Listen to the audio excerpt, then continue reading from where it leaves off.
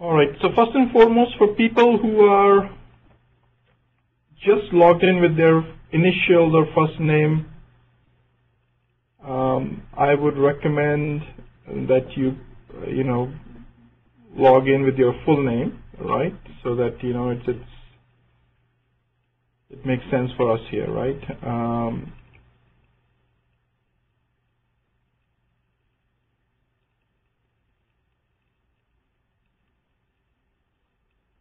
um,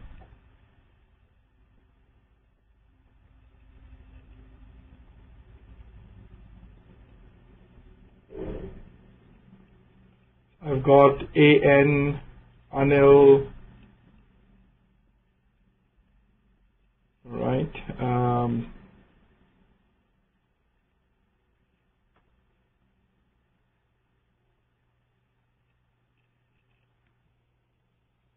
Shaker K and Srinivas K as well.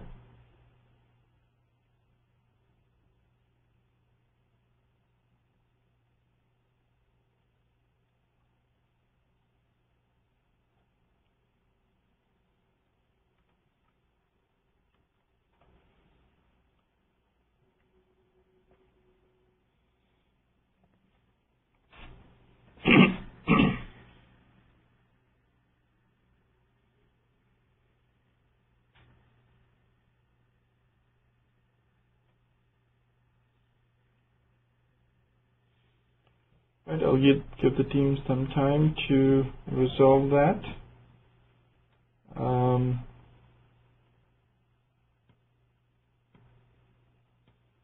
and then Srinivas K, it looks like you have got an audio problem. So Amol, you or Sumit as well. Amol, you need to kind of help them resolve some of these. Yeah, sure.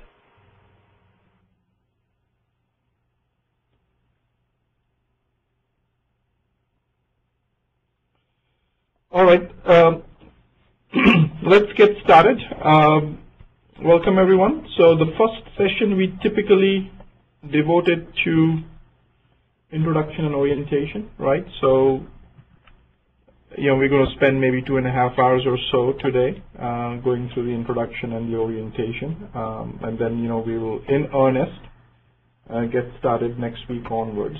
Um,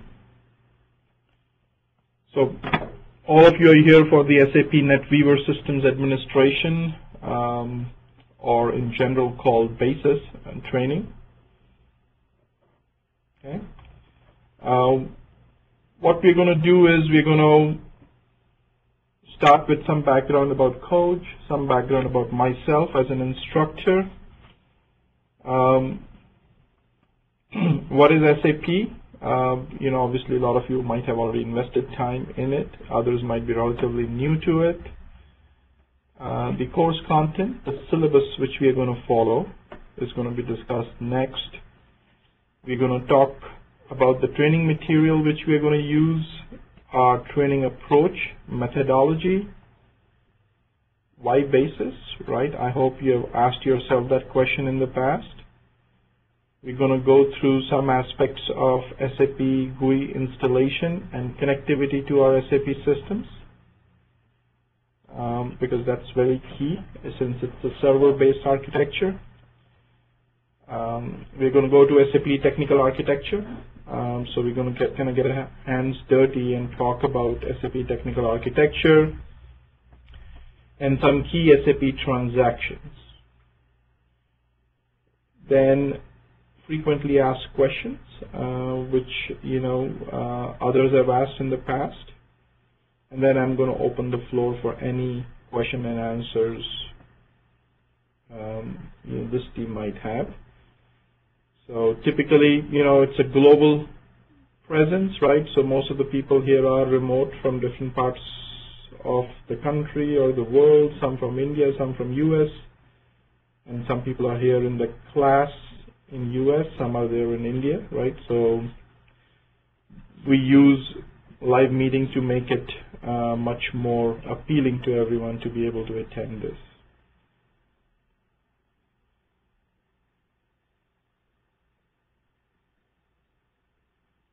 All right.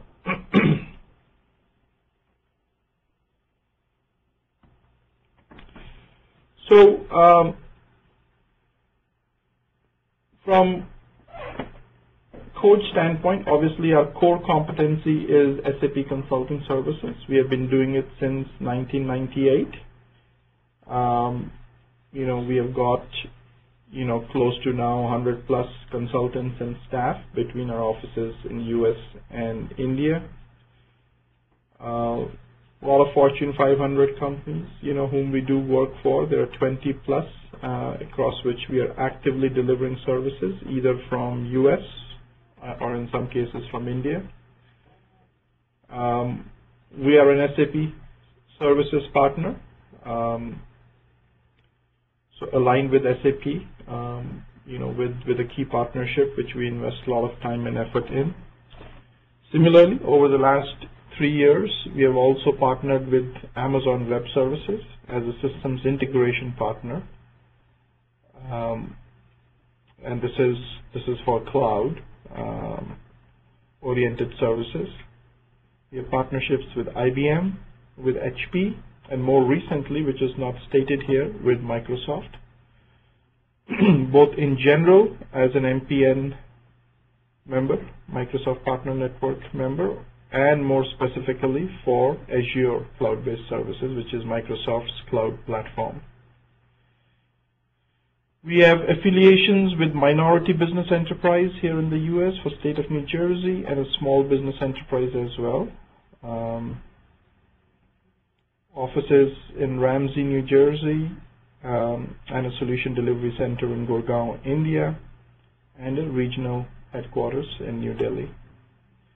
Um, that's in brief about Khoj. Um, uh, in terms of a listing of clients, you know, where we continue to provide services, as you will see that they span across various verticals. Um, you know, some CPG, um, some EMC, which is entertainment, media and communication, uh, high-tech industry, retail industry, services sector, insurance, finance. Um, obviously big names, the reason being that typically when you're implementing SAP, um, at least till very recently, the focus was on the large cap, the big firms, right? The Fortune 500, the Fortune 1000. And more recently, um, SAP is even being used by SMB, small and medium businesses as well. And uh, our, our, business model is, is very similar or simple as most of the consulting companies might have. Um, obviously, the vision is focus around SAP technology and uh, also software quality assurance, consulting and training services. Um, strategy in any consulting practice, you need to focus on your resources, right? So we try to hire, train, deploy, develop, and retain the best and the brightest, uh, giving us a mechanism for vertical integration. We rely significantly on our partnerships with some of the bigger players in the market. Um, we have here in the US as well as in the India um, a very good set of reputed vendors whom we deal with. Um, and we have a very comprehensive database called CBIZ, you know, where we track um, the talent pool uh, in the U.S. market as well as in the India market, uh, more so in the U.S. market. Uh, our consultants are both full-time employees, W-2 employees, as well as contractors. And the customer population is large business and medium business, right? Small businesses are not there on the SAP bandwagon at this point, so that, that's the reason our focus is on large and medium businesses. So there's there's nothing um, difficult or complex here. It is just that you need to execute this with precision, right, to be successful. Solution offerings, uh, you know, which we focus on uh, in and around the SAP space. Um, Architect SAP. This is SAP technical architecture, strategy and design. This is my background. This is how Uh, we started in 1998 um, around SAP Technical Architecture Strategy and Design. So we have a service offering in this space called Architect SAP. We've got Remote SAP, um, which is a best shore, i.e. a combination of onshore and offshore SAP NetWeaver Systems Administration service offering. Manage SAP, which is SAP Solution Manager Implementation and Consulting. Solution Manager is SAP's tool to manage um, SAP landscapes and SAP implementations. Um, Turbo SAP, which is SAP Performance Management, uh, managing SAP's performance. Um, it's a very significant component for big SAP implementations.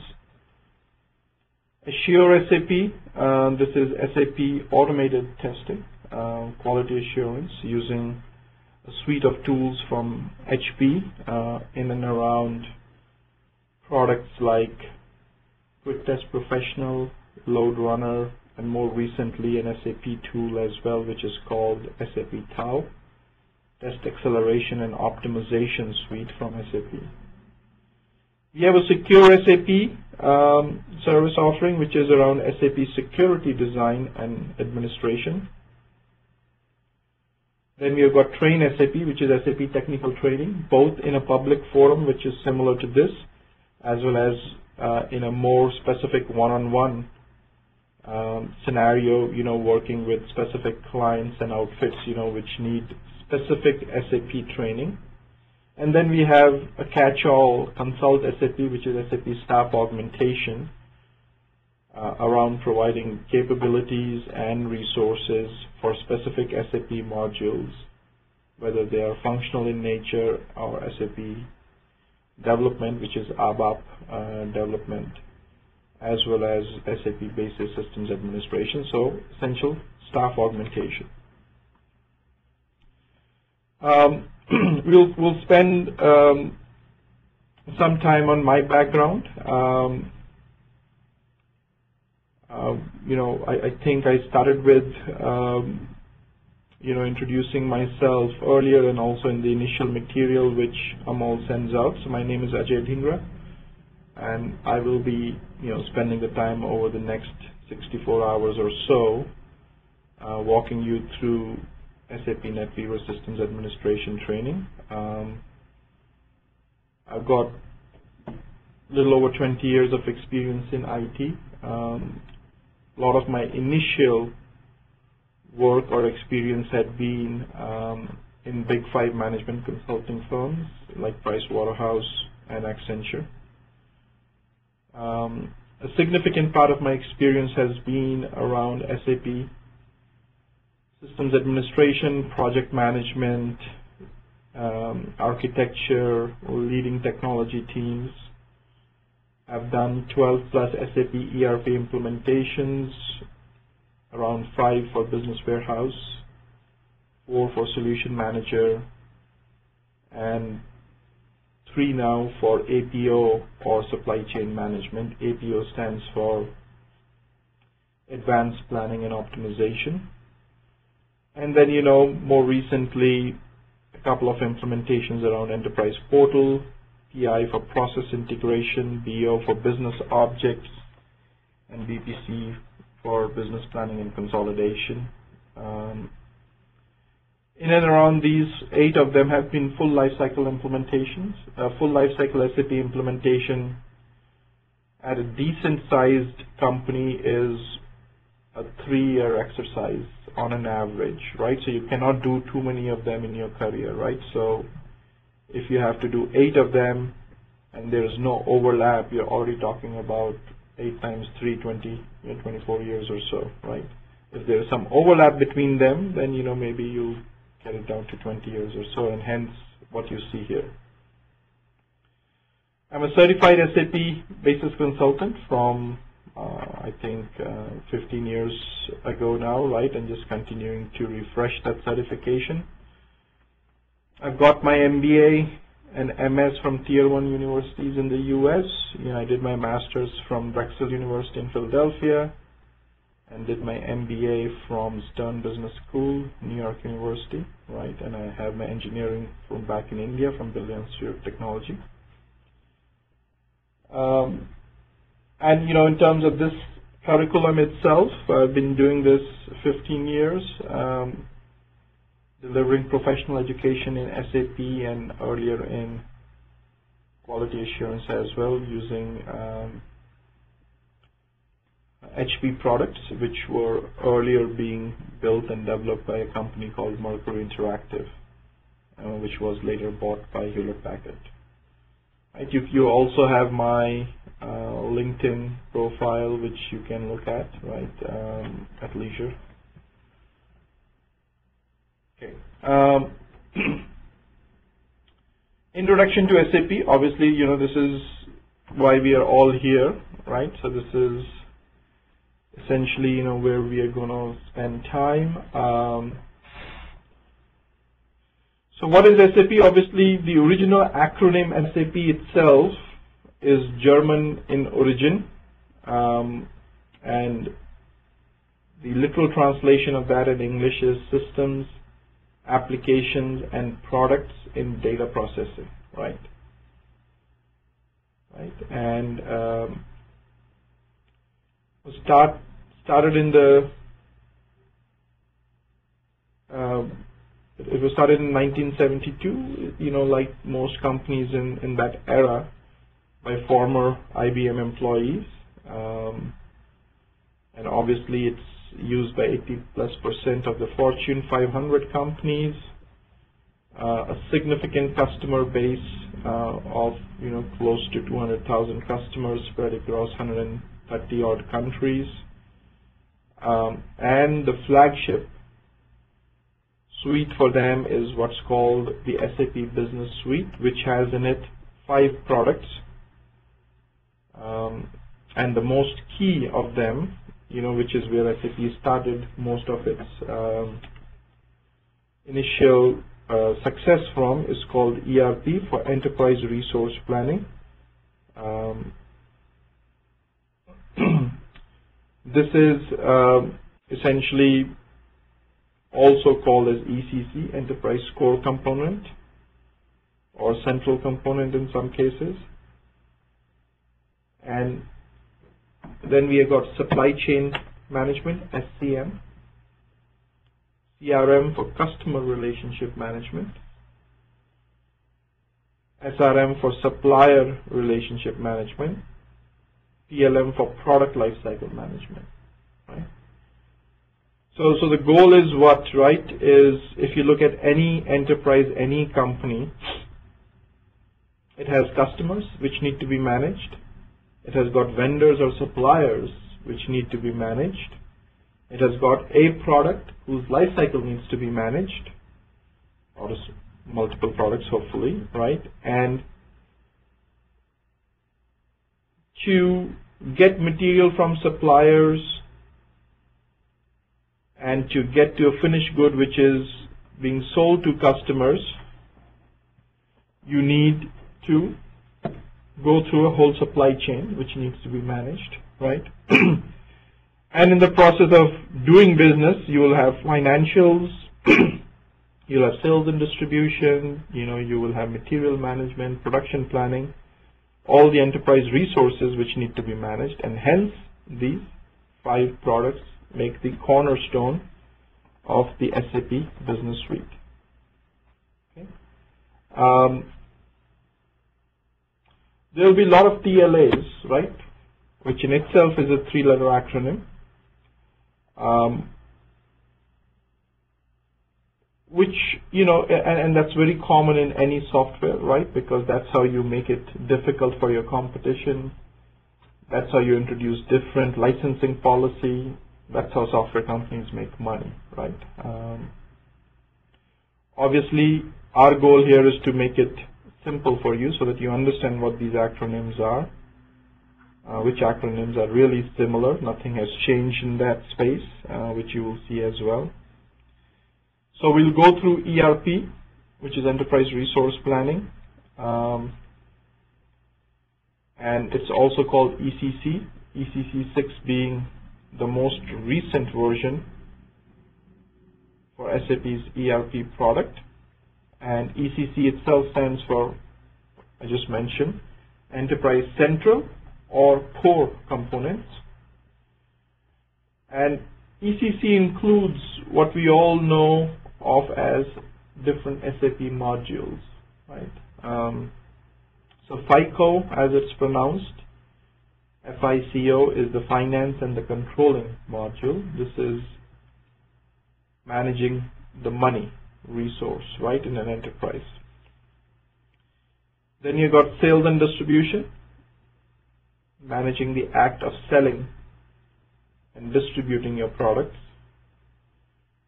You got material management, which manages your raw materials and your finished goods both. Production planning, which is the act of manufacturing your finished goods from your raw materials. HR, to manage the human resource. PS, project systems, which is around managing any project delivery work, right? So let's say if you're a publishing company, publishing a book, you know, from the initial script all the way to the first reprint edition is a project, right? Till you have an ISBN number, ISBN number, which uniquely identifies the book, project. Warehouse management on how your finished goods and raw materials are being stored. And you know, these are just a handful of modules, but some of the common ones. Supply chain management, which was earlier called APO, which is the old name for SCM, and that acronym stood for Advanced Planning and Optimizer. APO or SCM within itself has got multiple modules. We got demand planning, DP as it's called, SNP for supply network planning, SNC for supply network collaboration. This is a network, right, uh, of your suppliers, your distribution centers, your factories, right, etc. And then you got TPVS as well, which is transportation planning and vehicle scheduling, right? How do you get your distribution network going in terms of how will you transport your goods from the warehouse you know, to your wholesale locations or your retail locations and from your factories to your warehouse. Similarly, you've got CRM, SRM, PLM, which we talked about, right? And each of those products also have their respective modules. A functional resource would learn about these different modules, right? However, underlying all of these five products run on SAP's NetWeaver platform. And as a systems administrator, as a basis admin, as a NetWeaver admin, our goal is to understand that NetWeaver platform on which all of these products are built on. Because if we have a good understanding of that fundamental platform, we'll be able to do a good job, right? Very similar to a mechanic, right? A mechanic doesn't say, oh, if you drove in a Toyota Camry versus, you know, a Ford Escort, right? As long as he understands what a fuel injection system is, he should be able to do a decent enough job in repairing. Uh, now, what we talked about was the Business Suite, but that's not the only set of products SAP builds and sells. There are a lot of other SAP NetWeaver applications, um, which we'll discuss. We have got WAS, WAS, which is SAP Web Application Server, which is the basis of all web applications. Um, delivered through SAP. So that's a core component of SAP's NetWeaver stack. We've got SAP BI or BW, which stands for Business Intelligence or Business Warehouse, which is SAP's business analytical tool set. We got XI, which was the earlier name for Exchange Infrastructure, which is now called PI for Process Integration, which is SAP's middleware product for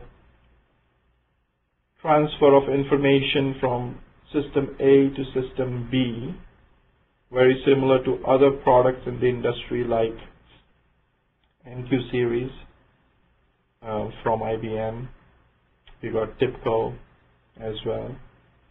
And then there are other, you know, EAI products. Uh, that whole genre of applications is called EAI, Enterprise Application Integration. Then we got Enterprise Portal, which is SAP's portal technology. We got MDM for Master Data Management. We got MII for Manufacturing, Integration, and Intelligence. There's some additional SAP products which are not part of the NetWeaver stack, you know, but they're built on the NetWeaver stack. Uh, Solution Manager, um, and we'll be learning a lot about this and using this uh, to a great extent. We got BPC, which is Business Planning and Consolidation. And then we have got BO or BOBJ, Business Objects. Business Objects in itself has got WebI for Web Intelligence, Xcelsius, Crystal Reports, BODS, which is Business Object Data Services. It's an ETL product. Business Objects uh, BO Federator for data federation. So these are some of the business object products. Business Objects was bought by SAP, I think, in 2007, 2008 timeframe. We have got governance risk and compliance, GRC, which is in the security space, applications as well. And a lot of SAP products now have got a pretty rich set of SOA, which is services-oriented architecture, i.e. web services, on which they rely. So there are a lot of web services in the picture.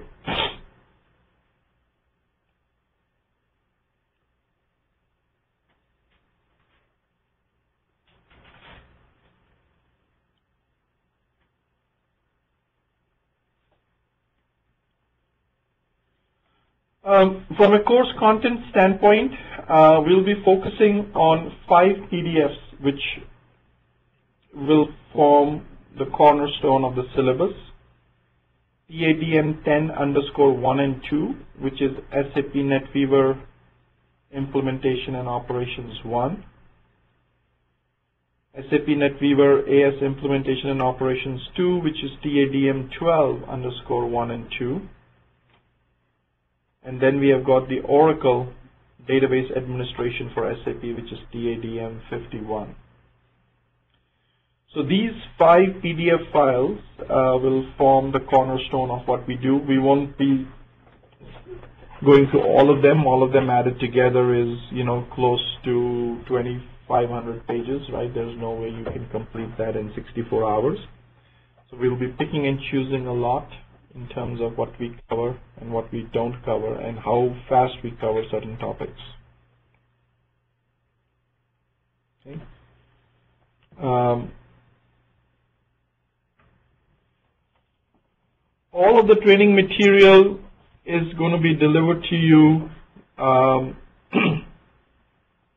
in a training DVD which, you know, depending upon whether you are in US, India, or somewhere else in the world, would be delivered to you slightly differently uh, after you're fully registered. Um, for those who have registered for a while might have already received it.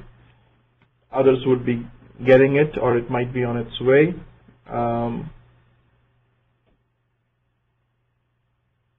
also, uh, you will all become part of a Yahoo group um, the last digit would change based upon the batch it is, right? So you'll all be part of a Yahoo group, and that's very material and critical because all information which is going to be exchanged is going to be done uh, based upon emails going to the Yahoo group.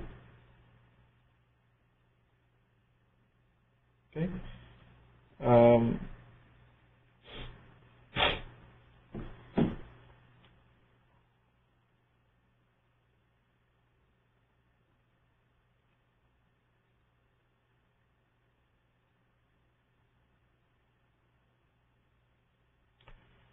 uh, we spend a lot of time on doing specific hands-on exercises.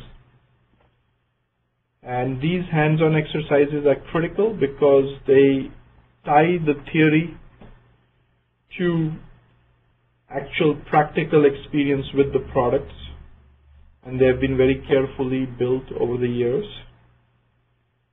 In addition, we'll be doing a full-blown uh, installation of SAP. So we have a custom installation guide which will walk us through it. A lot of what we study is going to help you prepare for an SAP certification exam, right? Uh, I've given the certification exam link here, but um, this link has recently changed because a newer version of the certification exam is available, right? Um, but it's in the same series though, right? It's an SAP Certified Technology Associate Systems Administration. And typically we recommend, you know, you can choose it for SQL Server as a database or Oracle as a database. We recommend to take the one where Oracle is the database, right? Because you'll find Oracle more prevalent as a database technology for SAP in Fortune 500 companies. But in terms of number of SAP installations with SQL Server as the backend database, the majority there is higher than Oracle. Okay. Uh,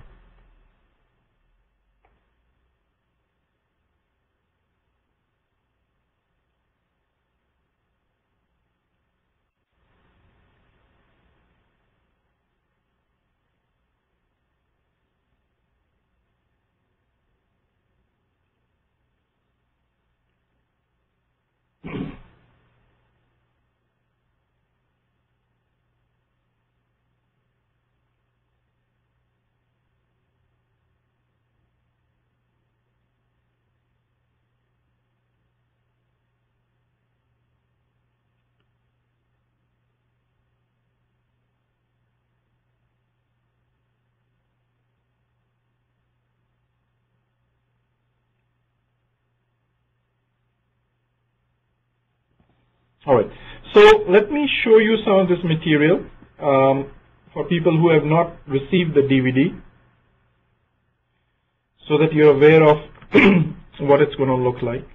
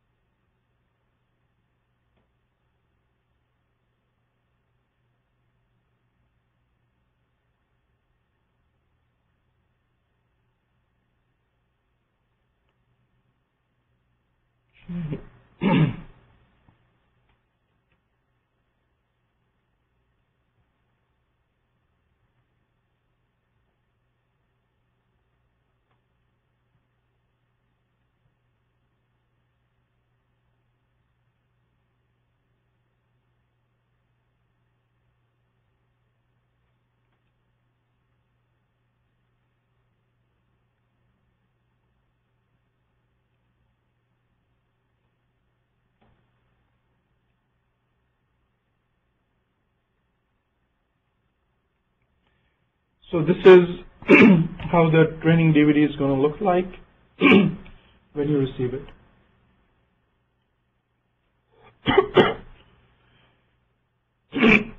we got a knowledge base folder which over the years any questions people have asked me, right, where I've felt that there was a need to provide a documentation or a white paper or some other kind of material, I've just added it here, right? So this is all in addition to what's in the training material. This is just what I felt was necessary to kind of build a knowledge base. So even if somebody asked, Ajay, how did you prepare for your SAP certification? Whatever I did back in 1997, right? Obviously, uh, as I mentioned, I took it a number of years ago. I kind of just put it there, right? So just as an example. Um, if somebody asked me, you know, how do people do health checks, right? So I've given some health checks material as well, right, on an SAP system.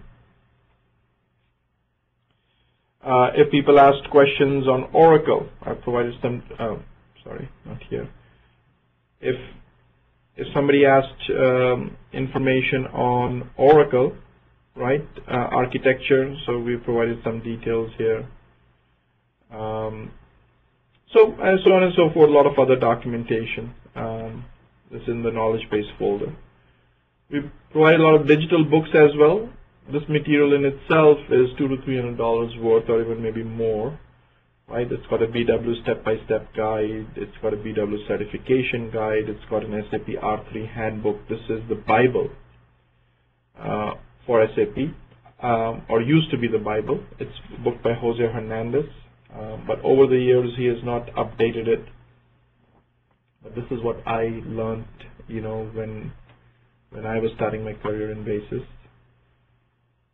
Um, we got books on ABAP, books on Oracle, SAP Systems Administration. Again, some some might be dated, some are relatively new, um, but they're provided to you. SAP GUI itself, but you're not going to get it from here. You know, Amol has provided you with the links from where to download SAP GUI from, and the SAP GUI installation guide is here as well.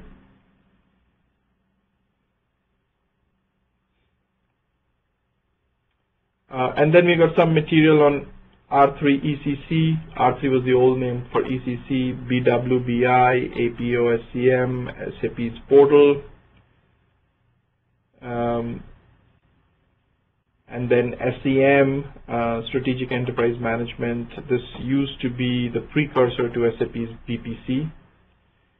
And then we have got um, SAP new material. This is what we are going to focus on. We are going to focus on these five PDF files, right? You see at the bottom, right? So that's what uh, in the slide.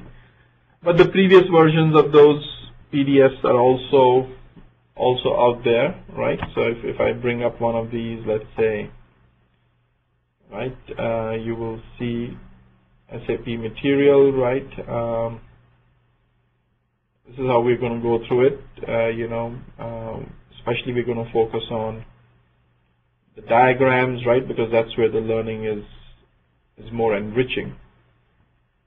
Okay. And each one is around five to 600 pages, right? So that's why I said 2,500 plus pages. SAP installation, this is where I said that we are going to be doing a custom installation. So this is a lot of the material on SAP uh, installation, right? Um, the master guide, the installation guide if you're installing using Oracle database on a Linux backend or a SQL Server database on a Windows backend um, technical infrastructure guide, the media list, right, the, the DVDs and the CDs you need to use to do the installation.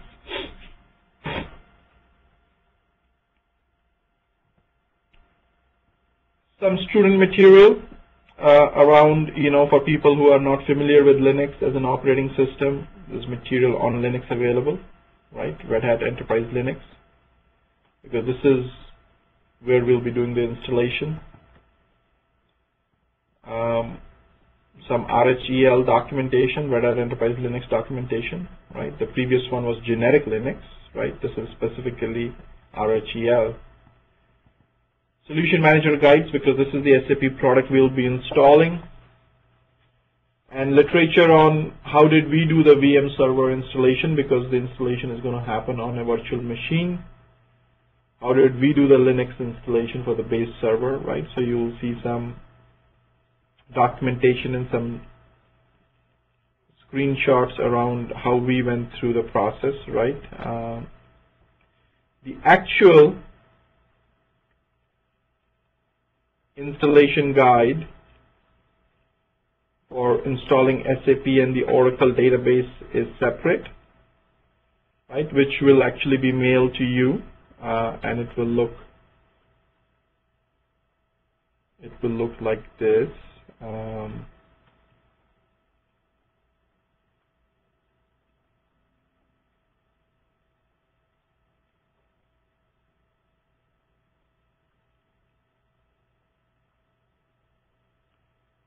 Yeah,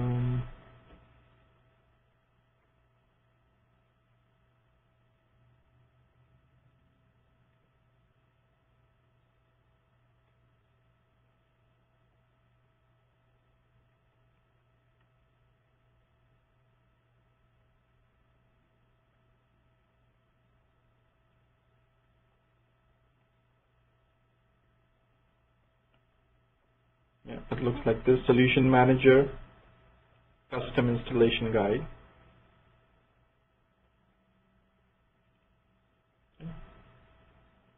So you will see it's very well drafted.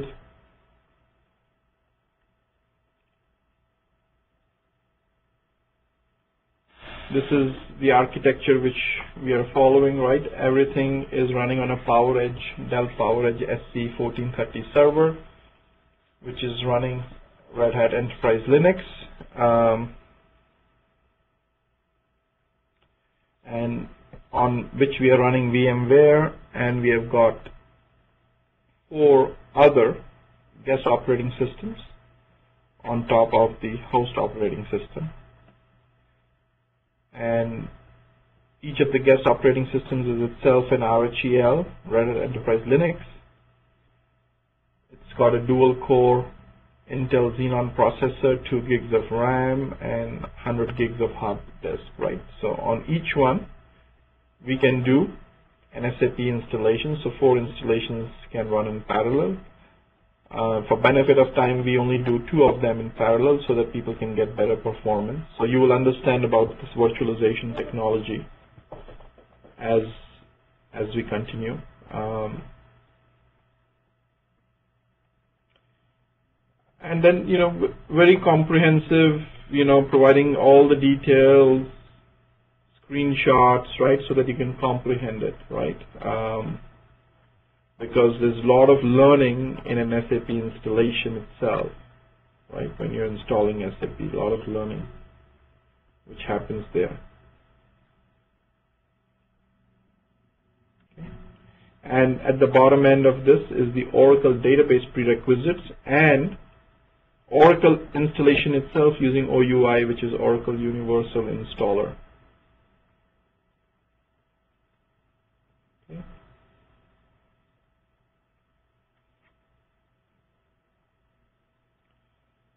Um, and then, you know, as you saw in here, you know, we have got hands-on exercises, right? So we've got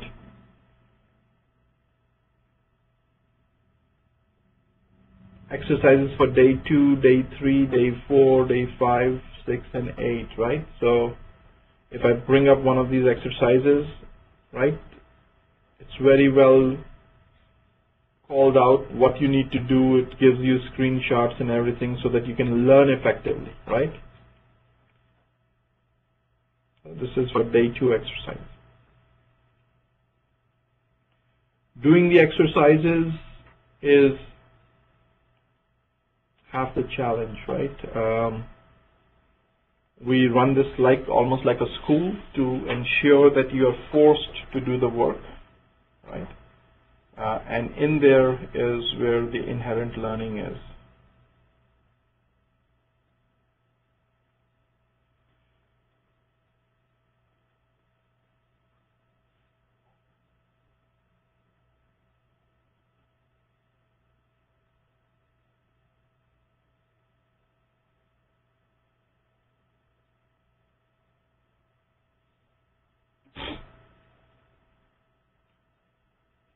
Okay. Um,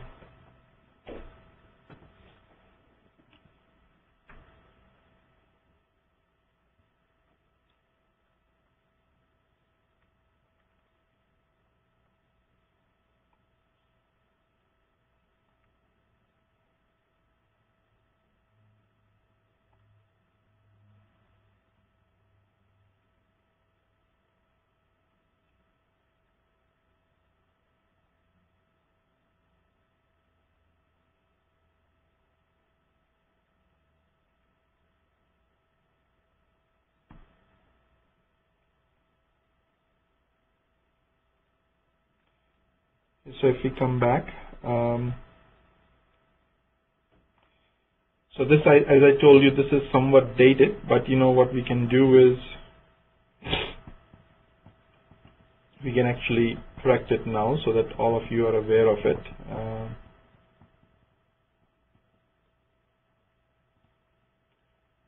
yeah, we can provide material. We don't do it as an exercise. Yes, installation guides are available. But we do not do that exercise, right? Because limited time, right? You can do only so much. Um,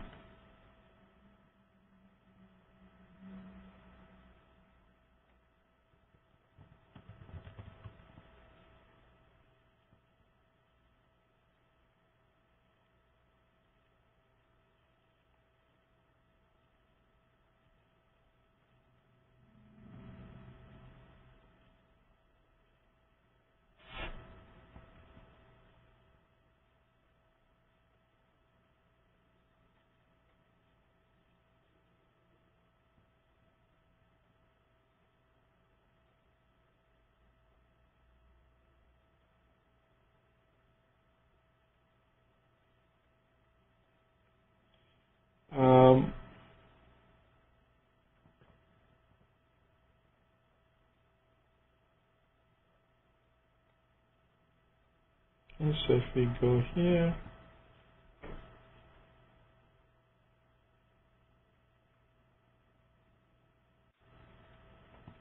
NetWeaver certifications,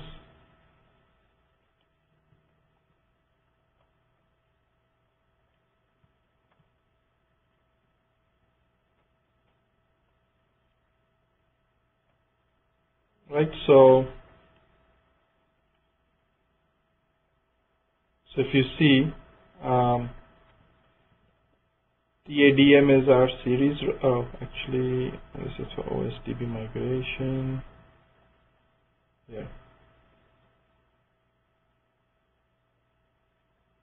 Right. Um, this is MaxDB. This is MaxDB. This is SQL. This is SQL. This is Oracle. Okay. So you have a choice to either take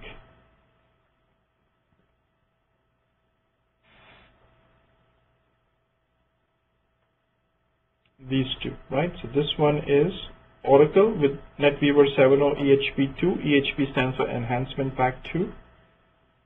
Or take this for NetWeaver 7.31, right? So at this point, going forward, I would say 7.31, which is the latest version of NetWeaver technology, right? So,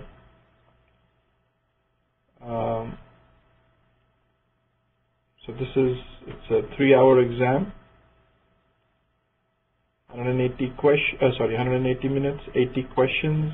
Cutoff score is 63%, but you need to obviously, you know, shoot for a higher number, right? Um, it tells you in which area,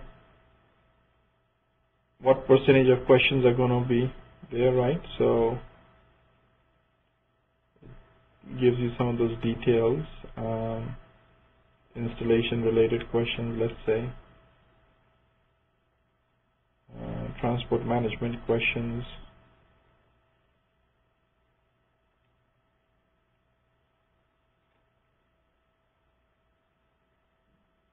Okay. Um, so that's what it is. Um, and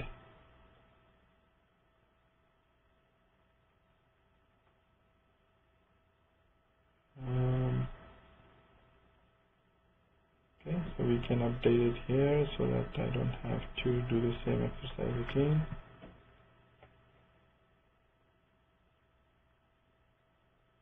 Right, and this was 51 underscore 731. Right, so that's the newer version.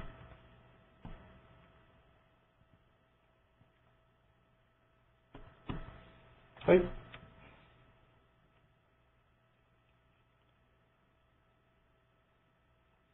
And we are a Pearson VUE uh, certification center here in the US. So, you know, a lot of people take the exam here itself. Okay. Um,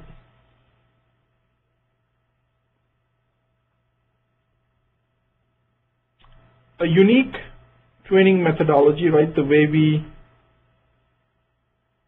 actually, I think what I didn't do is I didn't finish.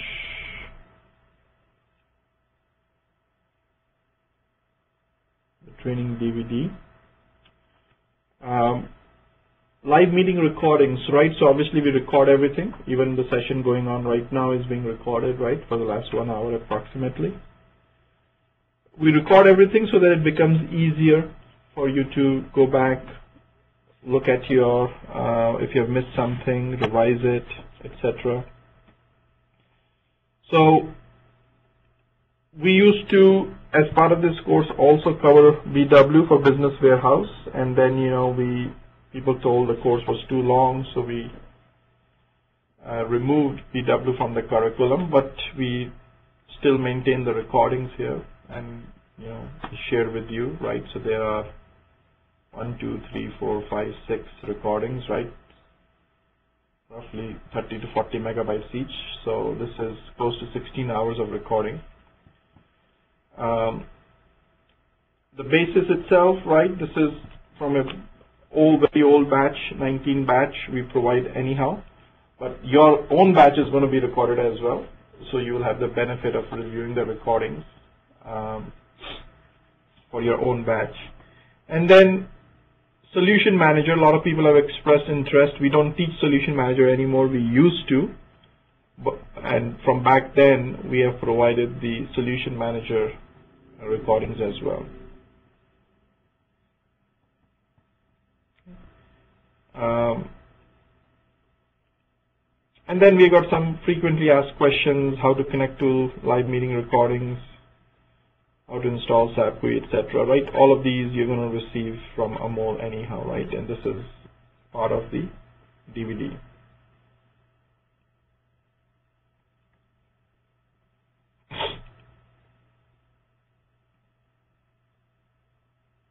Um,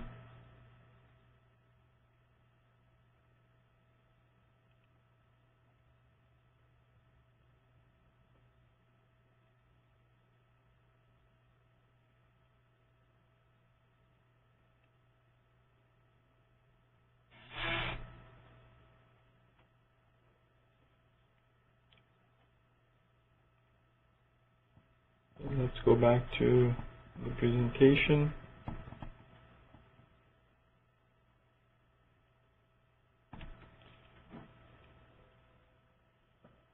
Um, so unique training methodology, right? And what makes us different um, is what we're going to look at.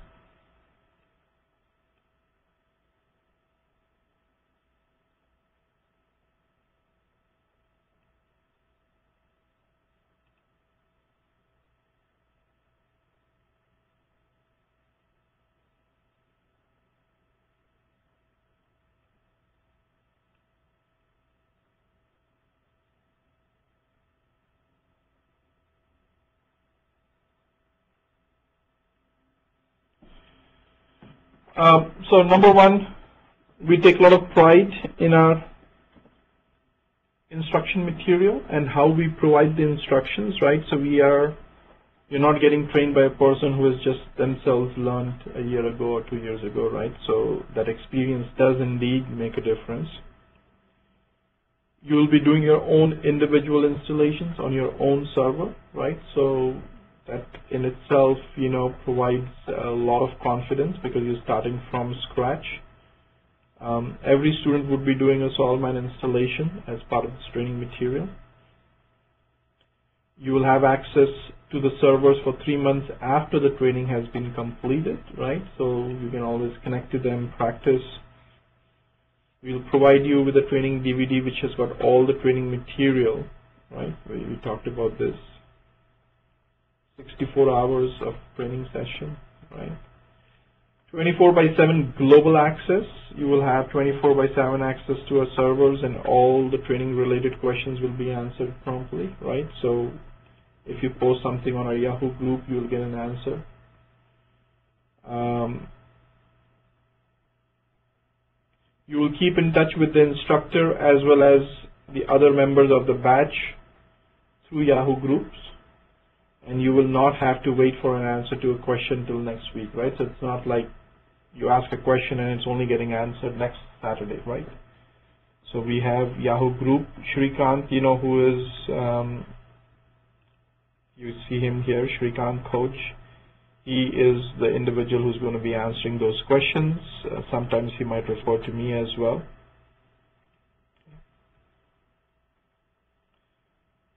Um, So we don't provide um, certification questions outside of, as we go through the material, we will um, give you insight that is this topic important from certification standpoint. And if you know, we know that this kind of certification questions have been asked in the past. For people who do register for our KPSO program, Khoj Placement Service offering, do get the certification questions from us uh, as part of that initiative. Okay.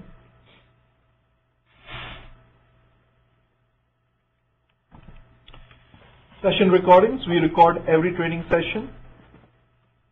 Um, you know, obviously you, you could attend the training in class or remotely through live meeting, but even then if you miss it, you have the recordings and the recordings are available to you for up to one year. KPSO, Khoj Placement Service offering. Um, so there's a typo here. Uh, apologize for that.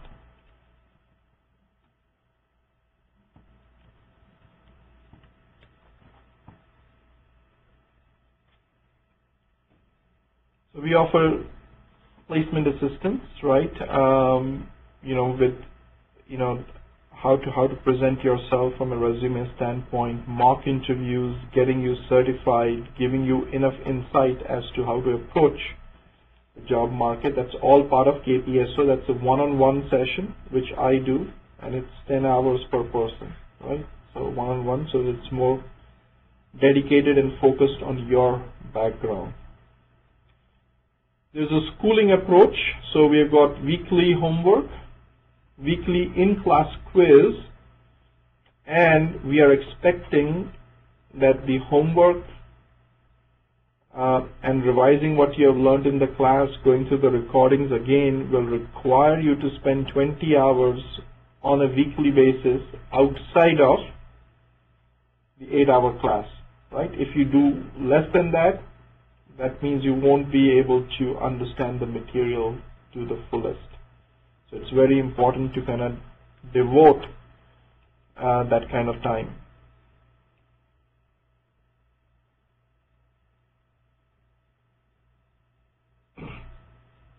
Okay. Um,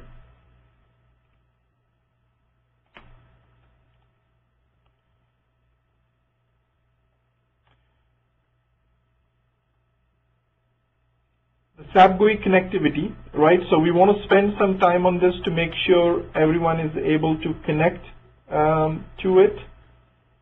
Um, Amol, I'm not sure if I have the right link here or if you have already provided the instructions to the students to download it. Ajay, I have provided the instructions to download it. So I think student might be able to download it. Okay. So a lot of you might have already downloaded. Um, And if so, you know, I would highly encourage if you have downloaded, try and connect. You know, we'll spend maybe five to ten minutes to make sure that I can answer some questions around people connecting to SD1, um, which is the system we are running here. You can connect to it from the class. You can connect to it from ParkCentra. You can connect to it from home use a user ID Shishya and welcome. It's a centralized server. Everyone should be able to connect to it. Uh, if you are not able to, then you will do it as a homework. But I would at least want to make sure that I can quickly answer some questions in this space on how people can can connect to it. So this is the SAP logon pad right? Um, if you have downloaded um, if, if you have downloaded the SAP GUI from the location we have mentioned, um, you know, then you should be able to, you will see SD1 in there and you will see SD1 Internet, which is what you will use if you're uh, connecting from home. Um, if you are not connecting from home, if you're connecting from our office right here in Ramsey, then you'll use an intranet, something like this kind of a setting, right? Um, mesh you can actually connect from there. Welcome is the password. If the machine is on. Um, right, so once you click on it, you will see the main uh, log on screen, right?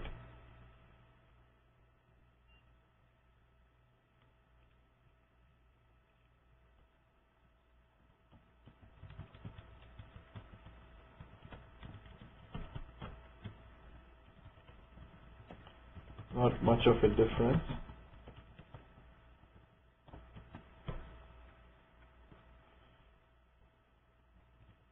And I'm just connecting using my ID. You will be using Shishya welcome, right? So would be Shishya S-H-I-S-H-Y-A welcome. I can use that as well. I'll log you in, right? So I just want to give, you know, five odd minutes for people to kind of make sure if you have downloaded, try and connect. I can see how many people have connected by going to a specific transaction called SM04. So so these some some you know this code zero this is my machine. Right? These are different people. You would recognize your machines because you're using the same ID Chetan PC admin PC HP DV3000 opera room.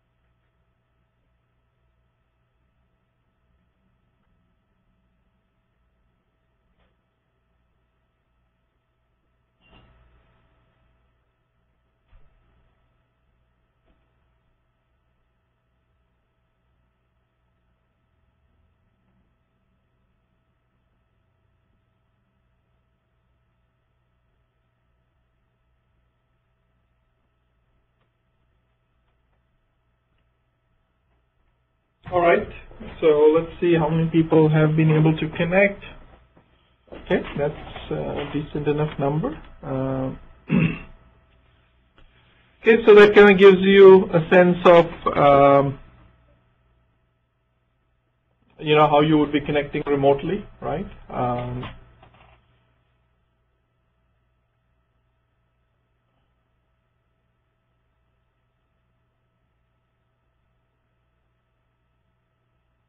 Okay. All right. So let's uh, let's move on.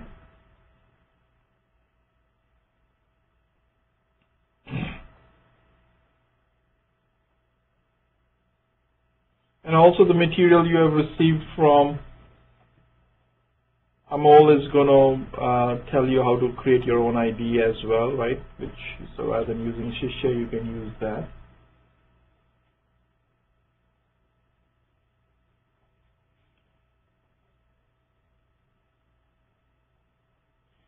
Now what we're going to do is we're going to spend some time on why SAP basis, right? Why SAP systems administration, right? Um, systems administration in SAP is called basis administration, right? So NetWeaver administration, systems administration, basis administration, they're all synonymous.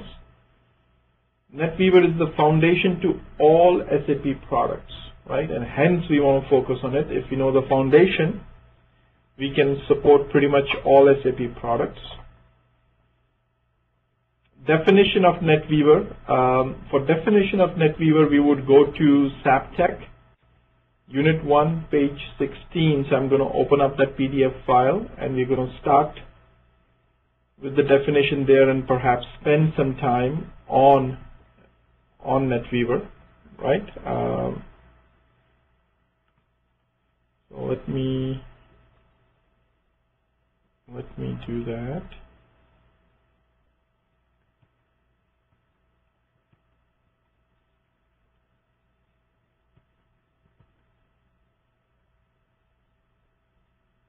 And this is SAPTEC.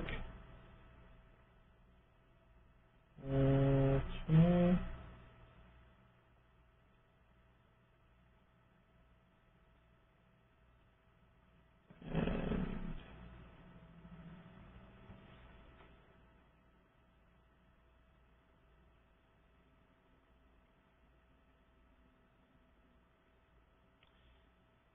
And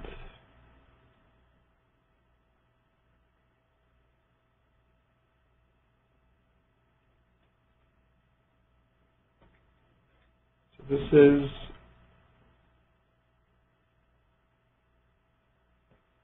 right, the definition of NetWeaver. That's an important one, so I want us to Right, so SAP NetWeaver is a comprehensive technology platform which can be integrated smoothly into existing systems. Because of the minimum amount of expenses of internal company integration, right? So it's a comprehensive technology platform, right? And what does it have in that comprehensive technology platform on which all the business suite products are built and other composite applications or XApps are built is the following, and this is called the refrigerator diagram, right? Because it looks like a refrigerator, right, with different shelves. Um, I'm going to go to more comprehensive refrigeration diagram, which is this one.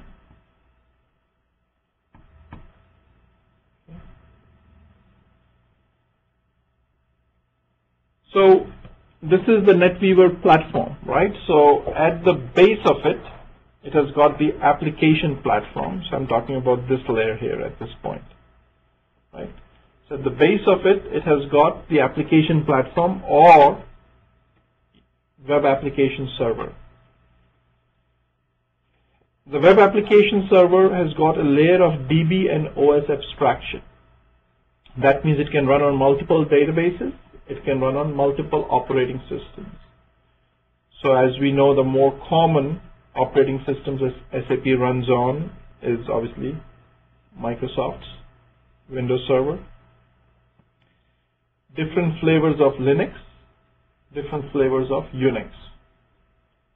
And from a database perspective, it runs on SQL Server, it runs on DB2, it runs on Oracle, and it runs on Sybase, uh, it's called ASE, as well as MaxDB, and more recently, the HANA database, right?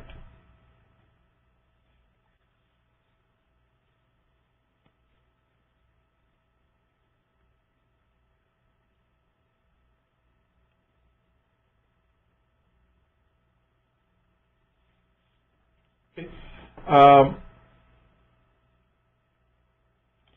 and then from a web application server standpoint, it has got a split personality. It has got the J2EE, the Java Enterprise Engine, right? So it's got a Java stack, and then it's got the ABAP stack. So it's got two stacks, which make up the web application server, right? So you've got the Java stack and the ABAP stack. And then on top of it, you've got the PI, the process integration. This is Enterprise Application Integration Suite, which is sitting on top of the web application server. It requires both the stacks, the Java as well as the ABAP stack. So this is the PI, or the process integration technology, which is also part of the NetWeaver stack. And so you, you see on the left-hand side, they're telling you the products of SAP, right? Web Application Server, Exchange Infrastructure, XI, now called PI. Then you've got Master Data Management, MDM, clear, for doing master data management in SAP. Master data is like a customer master, vendor master, material master. Then you've got the Business Information Warehouse. BW. Um, right here. So that's also based upon NetWeaver. This gives you analytical capability, data warehousing capability. And then what's a very key part of NetWeaver technology is the SAP Enterprise Portal, SAP EP. And this has, as part of it, knowledge management,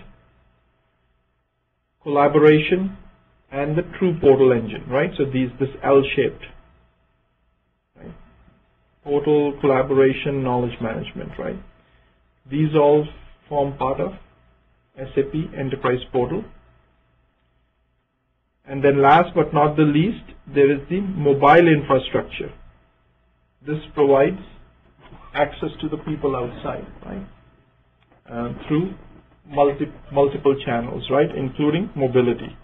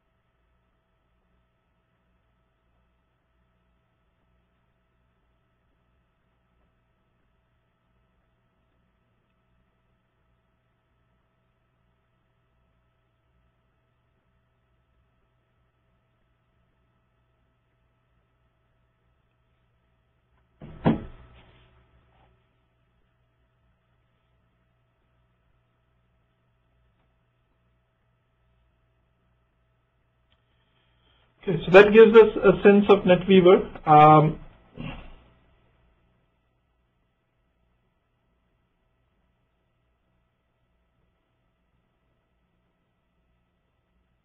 yeah, so everyone would be doing an installation, right? So you will have your, I will do the first time around, then you'll do it independently, right? Um,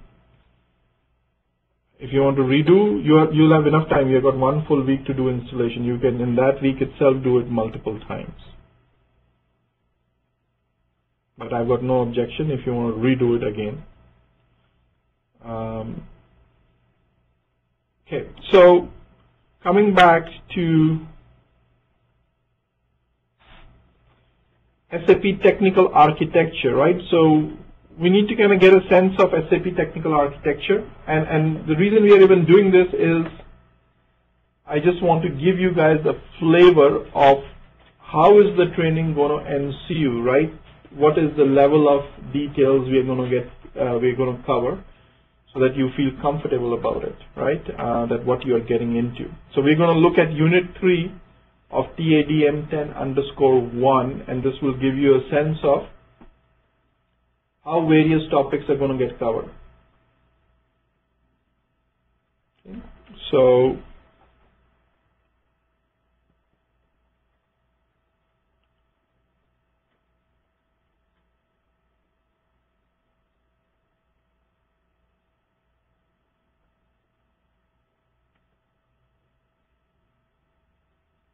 we're going to go to unit 3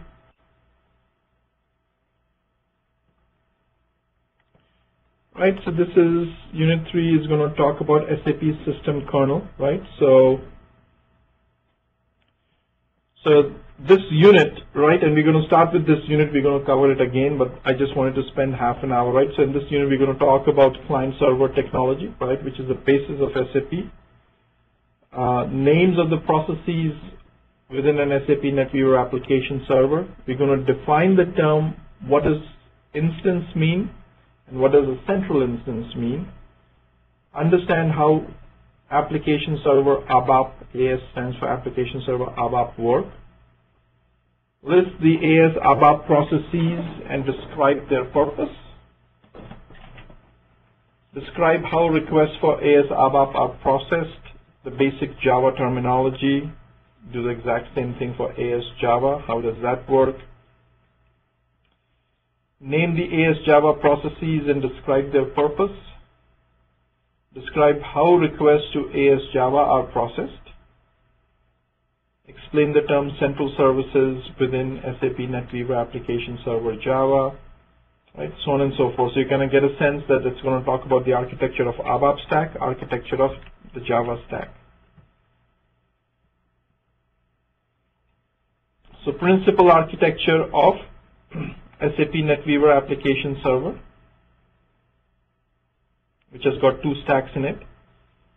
Um, it's client server in nature, right? So this is the hardware oriented view of client server, which we are all aware of, that there's a client machine, there's a server machine, there is either a local area network or a wide area network within it. But that's the hardware oriented view. The software oriented view is different, right? There the concept is not of a client machine and a server machine. There the concept is who is requesting information. The requester is a client.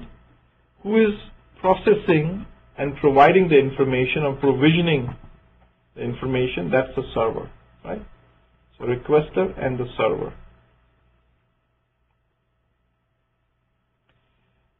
This is the evolution of client server as we are aware of, right? Everything started with a two-tiered model. That means there's a big fat backend, AS400 or a mainframe, mm. and essentially a a front-end technology, right? From there, we all went to three-tiered architecture, we, where we kind of split the backend into a database server and an application server, and still maintained the front end. Then came the advent of the browser where we split the front end into a web server and a browser, right? Now we have taken a full circle where to some extent the browser and the web server have again come together into what we now know as apps, right? So in an app, there is no browser, right? But, you know, apps are being served by web services, so in the back end, there's not, perhaps not even a uh, fully dedicated web server as long as you got some machine which can serve a web service call. So, you know, so from device independent browsers, which were very, very thin, you have gotten to apps which are thicker than a browser. But the beauty is that you can download them. You don't need to install them, right? which is obviously not shown here. That's a more recent advent in technology. Um, what's an instance, right? So this is very, very important because as a systems administrator, you need to know what is a system, what is an instance. So instance is an administrative unit that combines SAP system components providing one or more services. The services provided by an instance are started and stopped together you use a common instance profile to set the parameters of all the components of an instance. Each instance has its own buffer area, so that means its own memory. An instance runs on one physical machine, right? So it cannot span across multiple machines. An instance is identified by a system ID and an instance number. So these all statements are very, very material to understand. So here is an example of instances of an SAP system. So in this case, on the database server, there is an instance running, perhaps a database instance, right? They have not shown it like that, but that's running there. And then on three computers, on three physical machines, there are four instances running. This machine has got two instances, a central instance, a central services instance, and then this machine has got one dialog instance, this machine has got another dialog instance, right? And they all have instance numbers 00, 01, 02, 03. And you can connect to these instances using SAP GUI, like the way you did just now, or using a browser right? So you can do both SAP GUI connectivity as well as through a browser.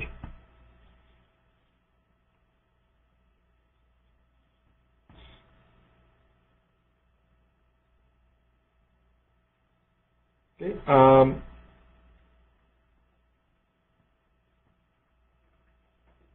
so dialog instances are instances which are non-central instances. That means these are additional application servers or additional instances. Central instance is very critical or a central service instance is very critical and let's look at the definition. The central instance of an SAP system is distinguished by the fact that it offers services that no other instance in the system offers. For an application server ABAP, these are the message server and the enqueue work process.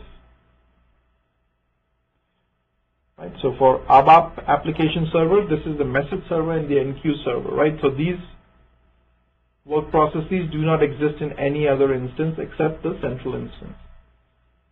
For an application server Java, you can recognize the central instance by the software deployment manager, right? So what is key there is the SDM, software deployment manager. The central services instance provides central services of the AS Java, the message service, and the enqueue service, right? So central services instance is the central instance, but for Java. And it provides the message service, the enqueue service for the Java stack.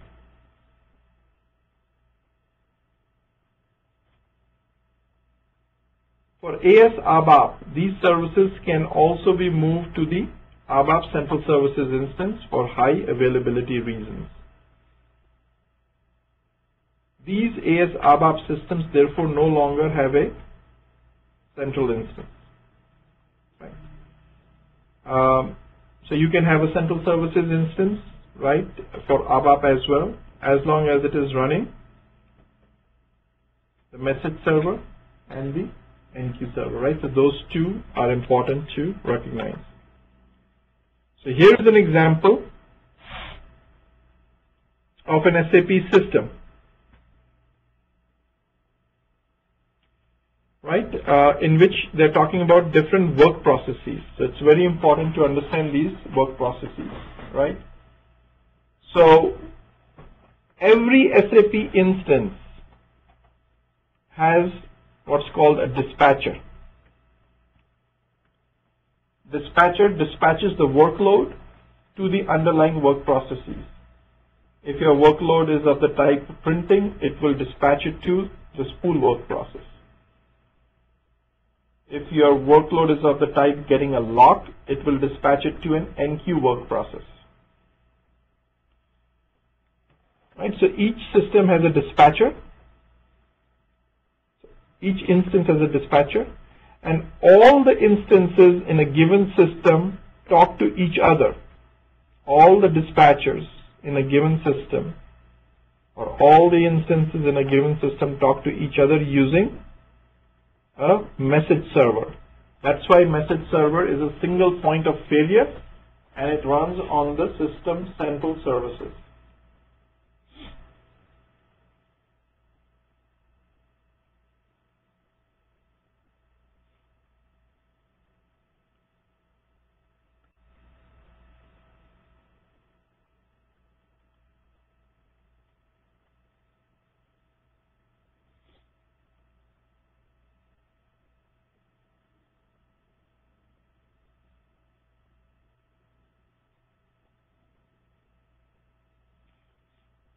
Then you have the gateway work process.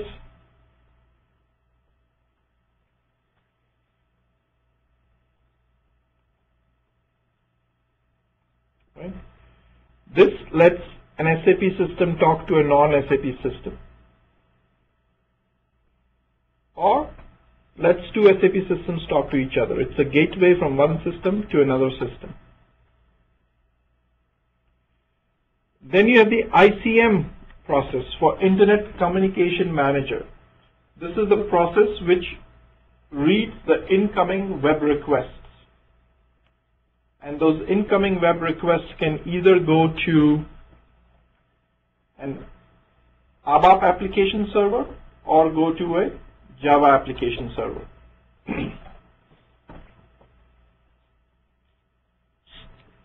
right? An ABAP dispatcher or a Java dispatcher as shown here.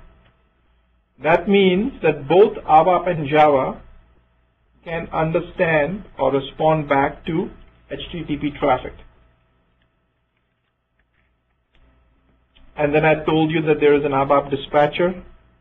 ABAP dispatcher dispatches workload to the different work processes. The work processes could be of the type dialog, background,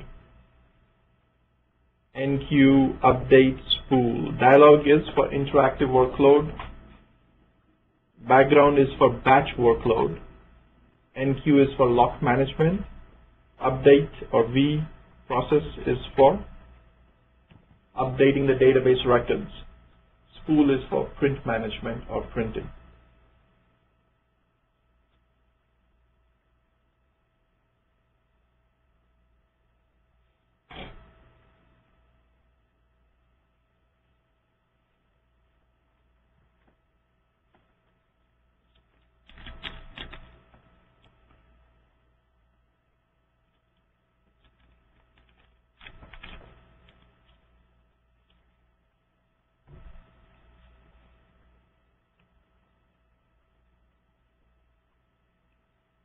Okay. Um,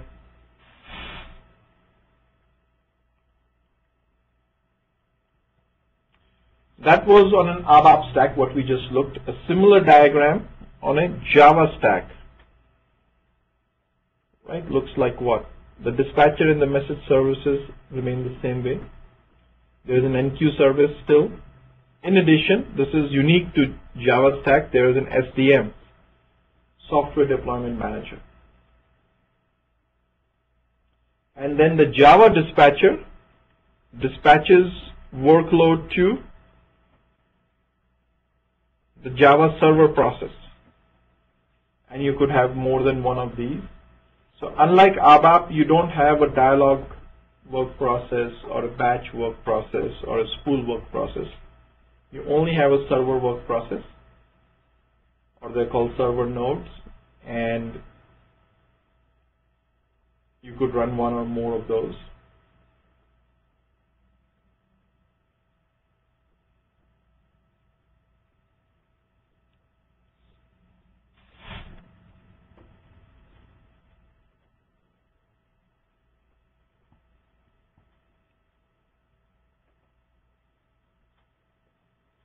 Okay. Um, so in here, this is on top a ABAP stack only system, right? The database has got the ABAP stack. You got a central instance which has got a message server, gateway, ICM, dispatcher, and multiple work processes underneath. This is a Java stack system, Java only stack, which has got SDM, Java Central Services, which is enqueue service and message service, and a Java dispatcher, and multiple server node processes. And then you have what is called a dual stack. And you know, when you do your installation, you'll be doing this kind of an installation where they're both the stacks installed together. So in the database, you got both the ABAP stack and the Java stack. And also you've got the ABAP stack running here. This is the ABAP instance. This is the Java instance, right? It's called the dual stack. And this diagram should be etched in your brain, right? Because this is an example of application server, ABAP architecture. So in this case, how many instances are running? How many SAP instances are running?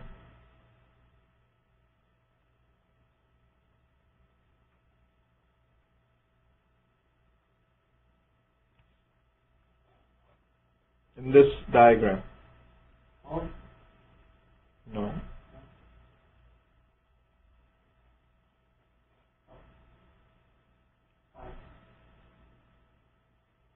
two instances running as Anand and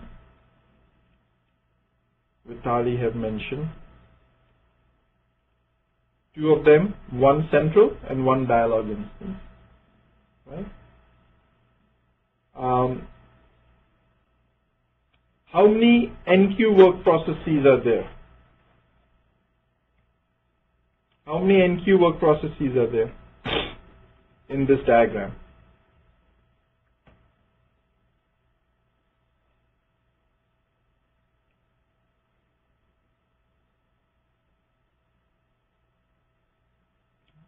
Yeah, so there's one, one enqueue work process,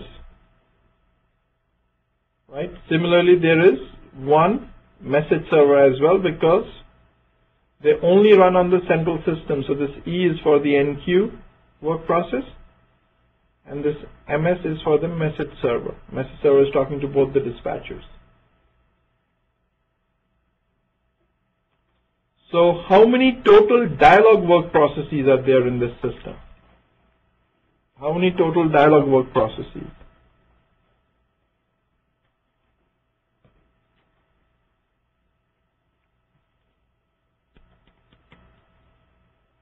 How many total dialog work processes are there? Few answers. Four is the right answer. There are four dialog work processes two running on the central instance and two running on the dialog instance, but together they form one system, so there are four dialog work processes. And we're going to end there, right? So this was just my attempt to kind of tell you um, what to expect from an SAP technical architecture standpoint, right? Similarly, we will look at few transactions in SAP, right? Just to kind of get your hands dirty. And of those, one of them you've already done, which is SM04, right? We already did SM04 transaction here, which is a user list of people who are logged on? However, SM04 has a limitation. It only gives you the people who are logged on on that particular application server where you are logged on. But if there were multiple app servers, you have to change the transaction. You have to use slash n. Slash n means a new transaction. AL08. If you look at AL08, then it shows you both the application servers, right? So in this system, there are two application servers, one with a system number 00 and the other with a system number 02. Right? So there's one user connected here, all the other users are here. Now if I refresh it, suddenly the number of users are increasing here as well. Right? As I do more AL08. Right? Not that you guys are logging into this other server as well, but the act of figuring out who is logged in, it needs to make an RFC call, remote function call, and hence it seems as if you are connecting there because you are making a remote function call. That's why this number is increasing here, right? Four. One, two, three, four, right? These are RFC calls, not interactive users. Right? So interactive users on 02 is still 0. Right? That means most of the people are connected to 00. 0. And both of these instances run on the server called Saraswati.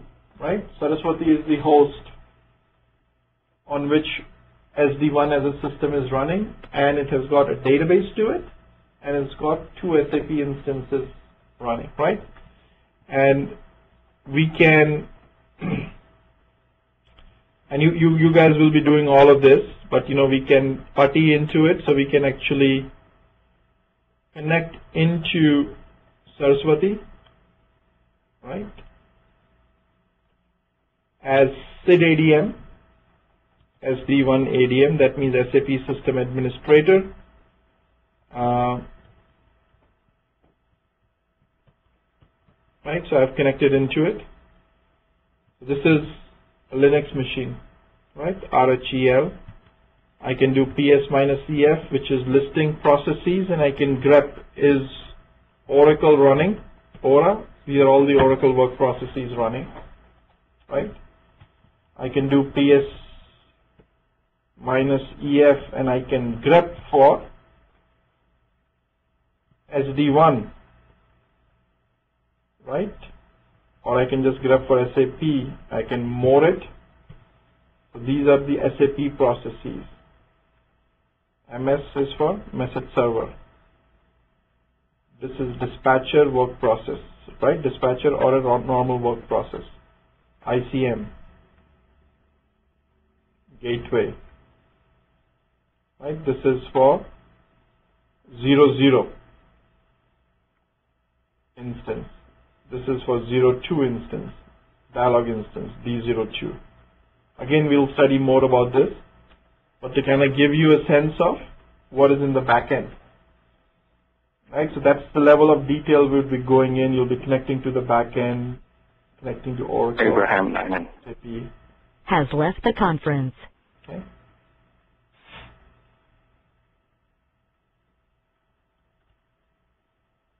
Okay.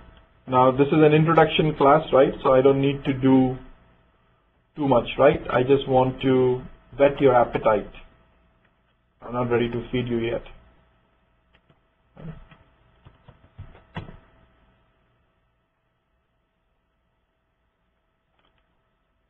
There is no fixed limit, right? Because it depends on how much capacity, how much CPU power is there, how have you tuned your instance, how much memory is there, right? And what your profile parameters are set to.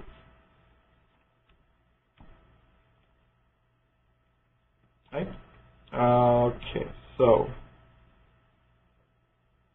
AL08 we looked at. Let's look at the next transaction. SM51. This displays the number of instances which are there in the system. We already know that there are two of them. Hmm. Right? So these are the two, 00 and 02.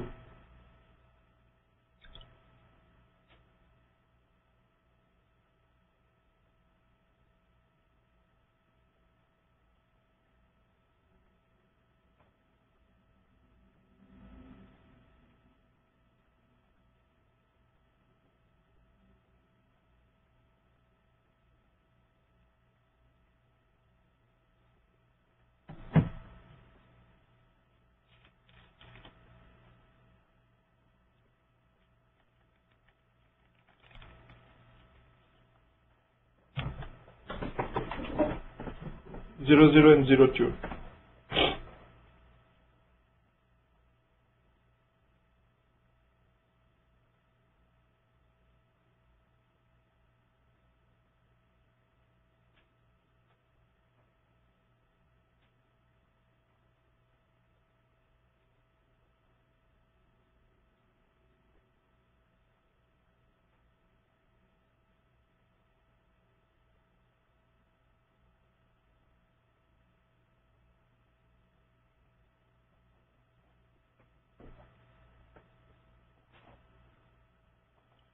Um,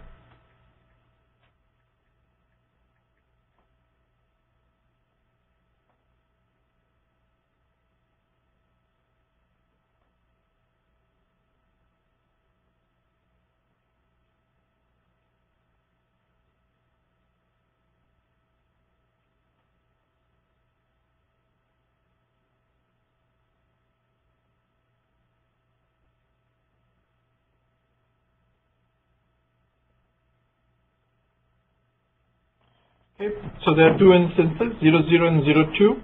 00 is the central instance, right, because it says enqueue here. Okay. Um, so that's another transaction, right, uh, in this list. SM37 gives you the background jobs, the jobs running in the background, right? So if I go to SM37 slash n, SM37, I can look at any job by name or any job run under a specific name. So if I say anything which the user Shishya has run today, show me, and there could be tons of these jobs which ran in the system today. Right, so these are all the jobs, right? Finished in green means it ran successfully.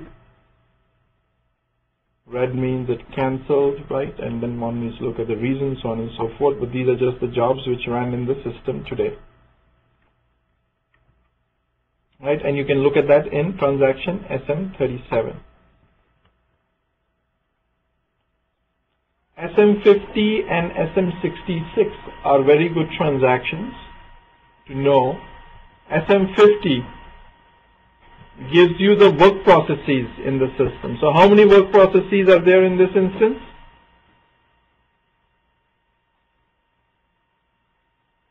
Right, this is instance 00, zero, right? How many work processes are there? 21 work processes, right? 0 to 20. And you can see which, how many are dialog, how many are update, how many are enqueue, how many are background, spool, right?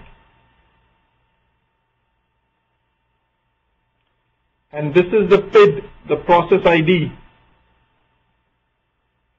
And you can see this process in the background as well, right? So if I want to see, if I do PS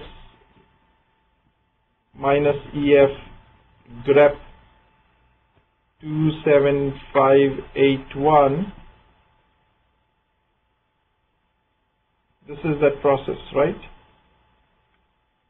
So this process is at the OS level, which is being shown at the SAP GUI level. This is a certification question. they will show you a screenshot like this and ask you to correlate them. Right, so what you see in white highlight here and what you see in the orange highlight here are the same thing. One is at the backend Unix or Linux level you're seeing and the other is you're seeing in SAP GUI.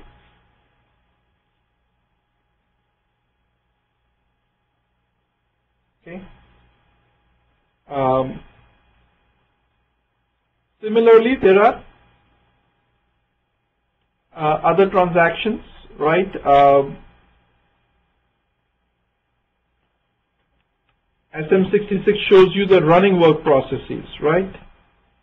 If I do SM66, these are work processes which are actively doing something and even though we are all connected, it's very rare to see that the system is doing anything, right? You don't see anything in the list because it goes very fast. However, if I refresh itself, that in itself is a transaction, right? So if I press the F8 function key here, that in itself is a transaction. So what we can do is if we just press the F8 and keep it pressed, right? So there are 18 students in the class, maybe, you know, 12 or 13 of them are logged in. If all of us click the F8 key at the same time and have it pressed, then you will see maximum two, three, or sometimes four work processes get utilized, right? So that's how fast it is processing your requests, right? Just to kind of give you an idea. This is called multiplexing. That means one dialog work process can serve me today somebody else tomorrow, right? So it just keeps multiplexing.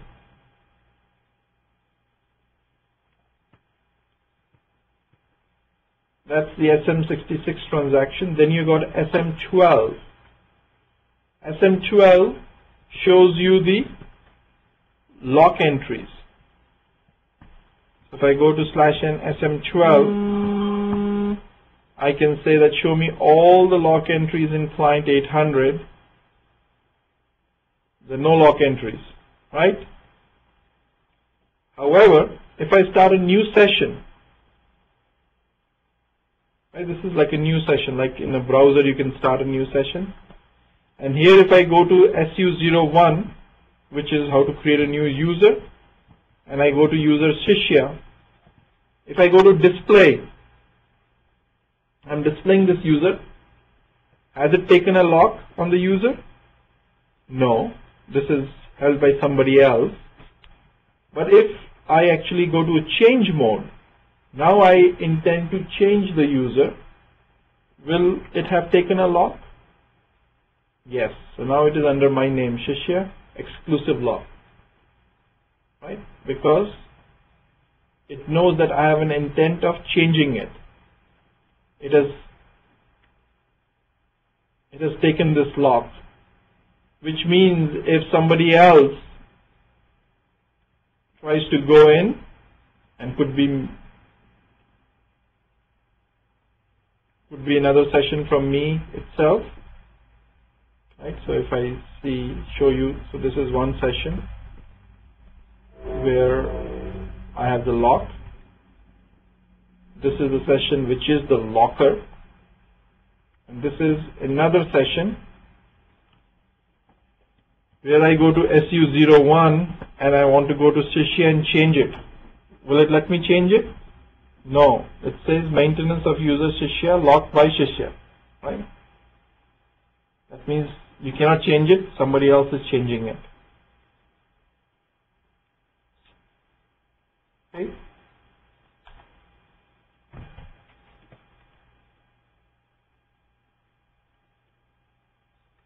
somebody else is changing it and hence it won't let you change it.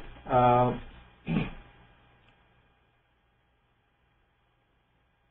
however, as a system admin, you can kill sessions, right? So sometimes you have these lock entries there and you can just kill a session. And in a lot of, you know, big outsourcing shops, you know, where relatively junior people are joining the team, they don't realize that what they did if they kill a session, right? So this user just calls in a ticket to the help desk. Oh, maintenance is locked. You know, how can I get in? They'll say, oh yeah, yeah. I I learned that I could go to SM50 transaction, right? And if I see there is a session running, right? Right, and if I want, I can kill it, right? So here you can also see in SM04,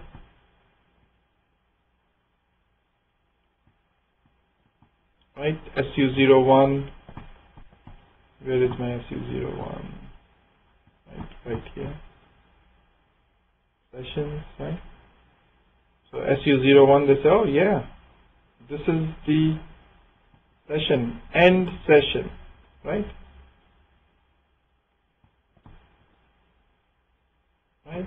And now this guy will be able to go and change, right? But you don't want to do it, right? Because instead of SU01, if this was a bank balance transaction, you have just lost a lot of money, right? Because you don't know what the other guy was doing while you kill their session, right? They could have changed, they could have done a transaction which probably was withdrawing money from an ATM machine.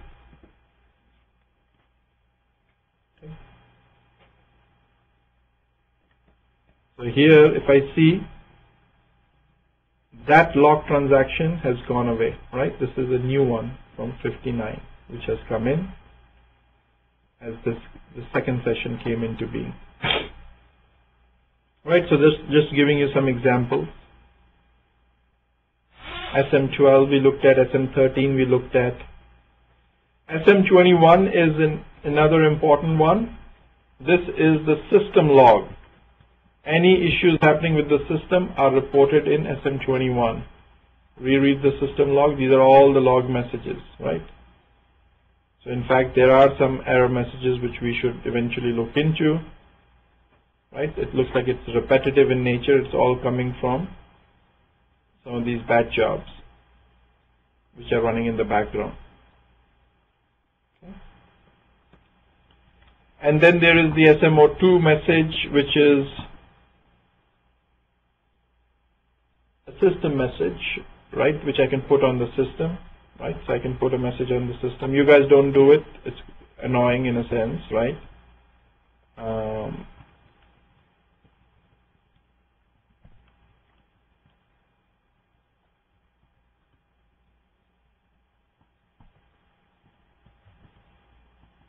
Okay, so FAQs is going to be the next topic we cover, right? So this message is there. So anytime you do a dialog step again, like if I do a back arrow, I'm doing a dialog step, it's going to pop up. Right? But it's only going to pop up once since you logged in, right? Not again and again.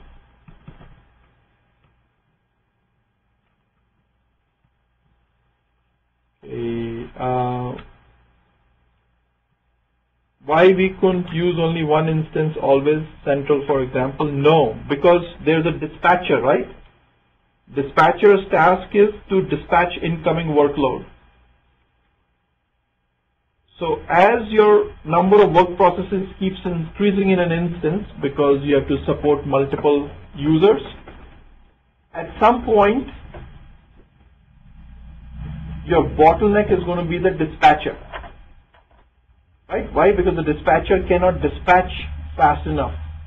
Even though there are a number of work processes, your system is very big, dispatcher will become a bottleneck. It's very similar to asking the question which Vitali is asking is, why can't I have only one section in the whole school for one grade? Why? Because the teacher cannot teach so many students simultaneously, right? She will become a bottleneck or he'll become a bottleneck. So the dispatcher can also be looked at as a cab dispatcher, right? So if you've got a cab dispatcher and there's one individual you know, they cannot manage more than 20 to 25 cabs or taxis, right? Because they cannot keep track of all of them. So you have multiple instances, but then you've got multiple instances, that means multiple physical dispatchers. Somehow those dispatchers need to talk to each other. That's what a message server is, right? So if you have a big taxi cab dispatching service, right? So, you know, they'll have multiple dispatchers in them, right? So you call the 800 number, you'll get to one of the dispatchers. But the fact that you're calling one single 800 number means there's like a message server. Will you email us the PowerPoint presentation? Sure, we can do that. You have the whole recording, so you got more than that. Right, you'll get the recording as well. So it has the PowerPoint presentation, you asking questions, me answering questions, everything is being recorded, right?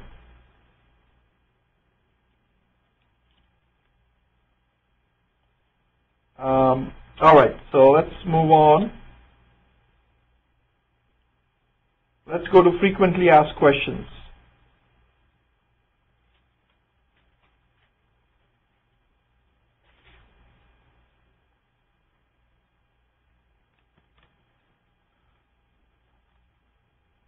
How are the opportunities in SAP? Obviously, it is the most lucrative and sought after field in IT, right? Um, furthermore, BASIS is the most lucrative within SAP, right?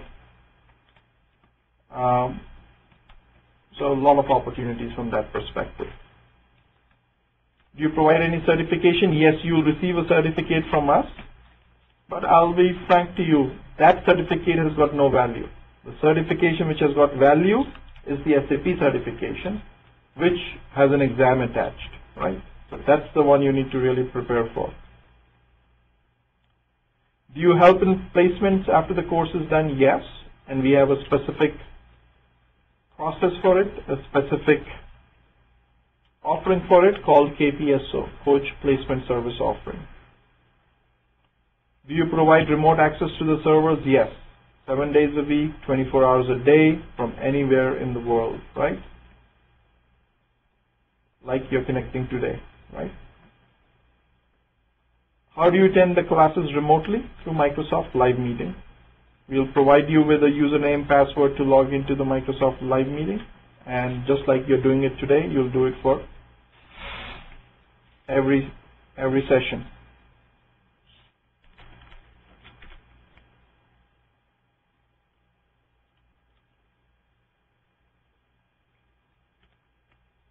How long after the training do I have access to the servers? For three months after the training. The training itself is three months, or the training itself is, you know, maybe two and a half months. Um, it's eight sessions, so that itself is two months, and then, you know, sometimes you have to cancel one or two sessions in the middle, right? And even after the three months, if you really need, we'll provide you access. There's a nominal fee, but even that we waive in most of the cases. Idea is not to penalize you, idea is to educate you, right?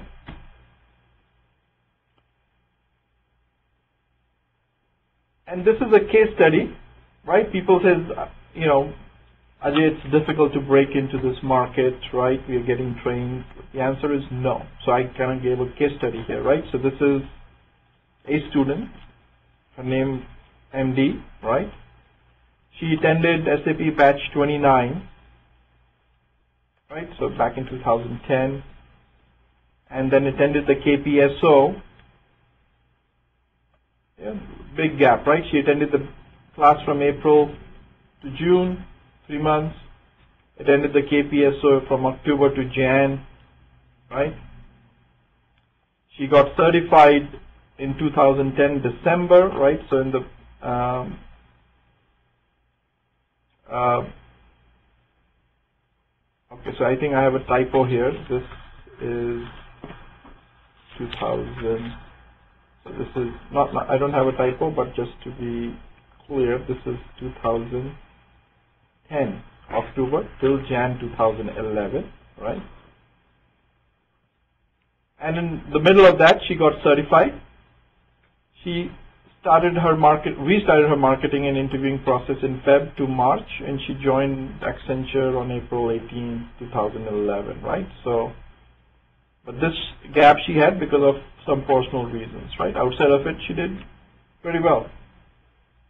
Attended all the sessions, that too remotely. She was in Canada. Very focused, asked questions before the start of each class, right? That means she has read her material. Very active in the class, completed all the homework on time, including the installation exercise. And not only did she get certified, she got certified with 90% marks. This is a scanned copy of her certification exams results. Right, so December 2010, I blanked out her name, 90%. Right, in most of the areas she scored 100%. Right, in one area where we think we do a pretty good job, she had 50% system configuration, which I was very upset with her about. But outside of that, she overall on an aggregate is 90%, which is fairly good. We have had people get 99 as well. Right, so that means 99 means you probably only had one question wrong. Okay, um, your turn. Right? Any questions which I can try and answer? Obviously, there were a few questions people asked along the way. If there are any more questions via live meeting, via the phone, I can try and answer those. Okay, and after that we are going to conclude. Uh, this should give you a good introduction and orientation into what you are getting into.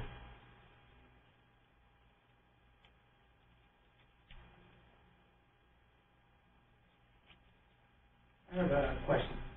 Between the different versions of SAP, are there uh, changes like marginal or very large? Yeah, so the question from Nimesh is between different versions of SAP, are there marginal or quantum changes? Um, the answer is depends, right? Different versions, different modules have got different, in some cases marginal changes, some cases quantum.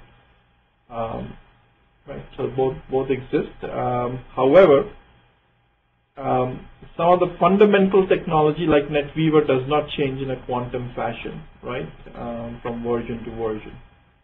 So that's why when somebody earlier asked that some of the training material dates back to 2008, you know, I said there's not a material difference, right? Because these fundamental technologies don't change that fast.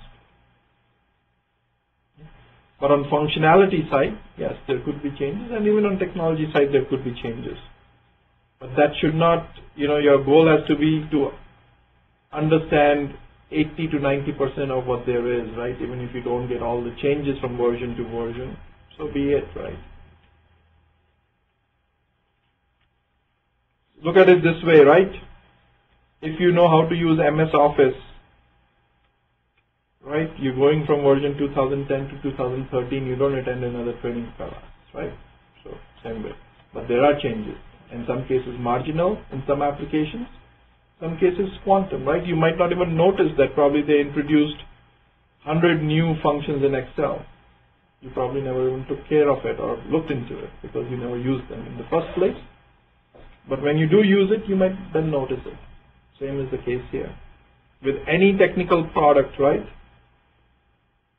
A lot of new functionality we don't use. I once read a research that 80% of the technology in your smartphone you don't use, right, on an average. We only use, on an average, 20% of the technology which is in there.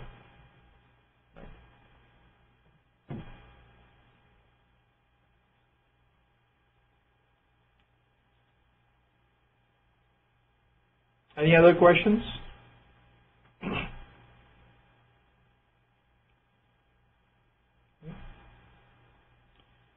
If not, what we're going to do is um, Amol is going to send out the recordings from this session and he's also going to send out the PPT itself so that you have a copy of it. For people who have registered and have logged into SAP, well and good. uh, ensure that you have your DVDs. Who have not registered, make sure you do register in time so that you do get your DVDs in time so that you're ready to get started in earnest next week. Uh, otherwise, it becomes very difficult to catch up. Um, and uh,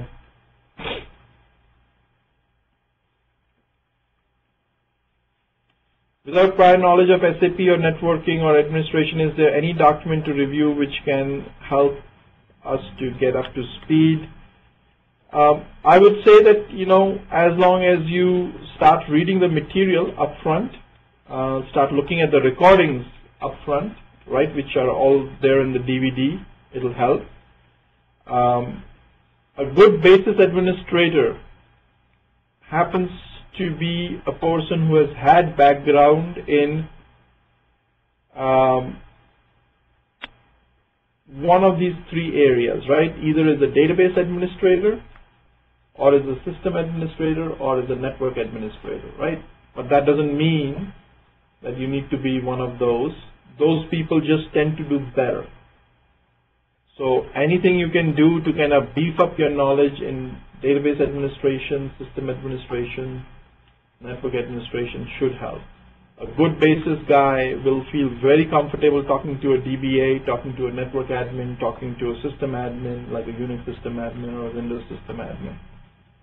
And that's why good basis admins are very, very difficult to get by, right? Because they're really good at a lot of different things.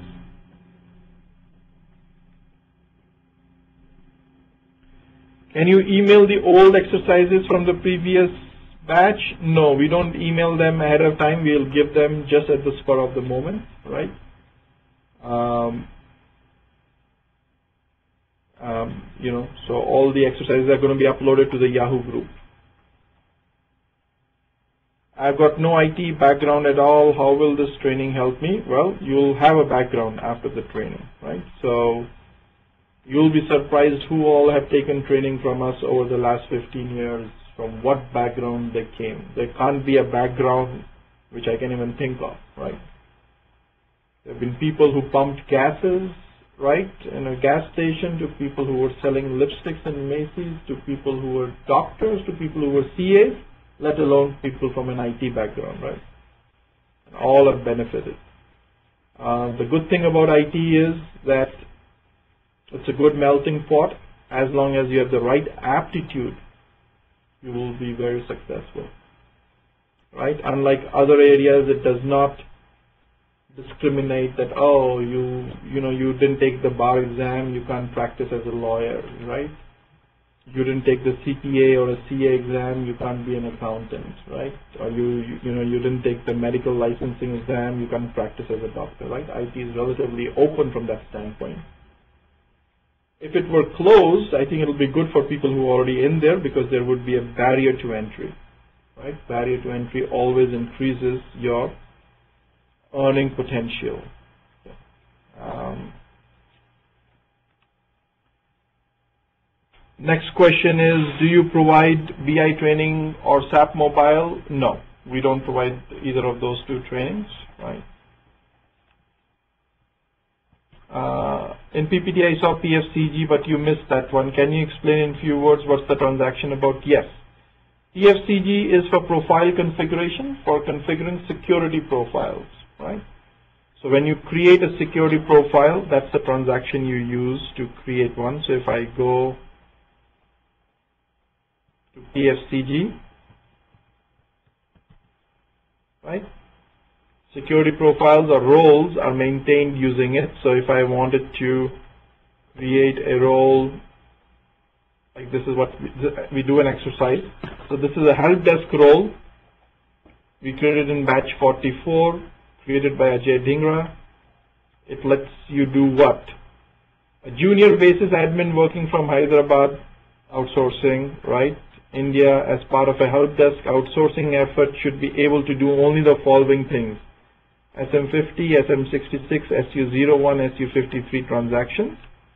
So this will let you create that kind of a role so that you can only do these four things. Will give you the right authorizations to be able to do that. Then you can assign users to this role. In this case, there was one user assigned to that role called B44HDAD. And with that user, you can only do those four transactions. Anything else you do, you'll get an error message. Okay.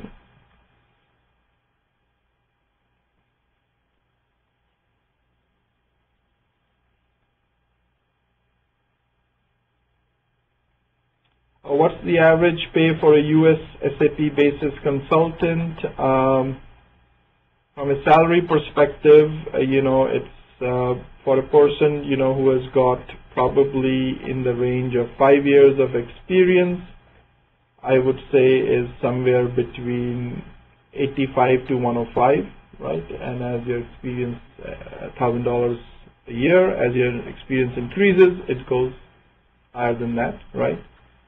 Um, you know, but then also this depends on, you know, how good your experience is, right? Five years of experience. I've had people two years of experience sometimes perform better than people with five years of experience, right? U.S. market is, at least consulting market is focused on skills, right? Um,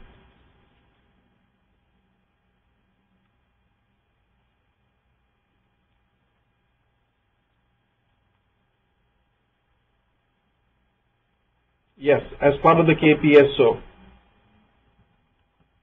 right? In the KPSO offering.